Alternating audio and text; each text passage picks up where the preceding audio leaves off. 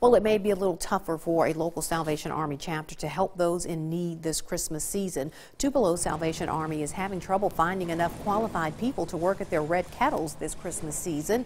The Red Kettle effort is the biggest fundraiser of the year for the Salvation Army's work in the community. This year, there has been a lack of paid workers and volunteers. Also, giving is down $15,000 so far.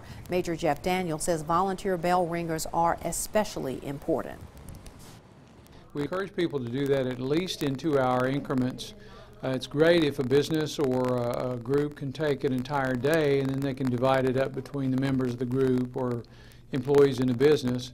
But at least two hours at a time because then that helps us with the logistics of meeting volunteers at the location and getting them put out and so on. The last day of the Red Kettle campaign this year is December the 23rd. Money raised, of course, goes to help meet needs at Christmas and throughout the year.